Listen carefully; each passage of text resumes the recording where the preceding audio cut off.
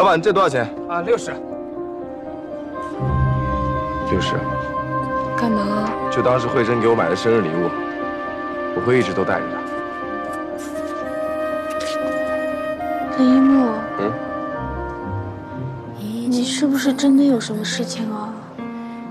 慧珍，我永远都是你的出口，是你的进气出口。我走了，改天见。是的，没错，没有谁离开谁不能活。全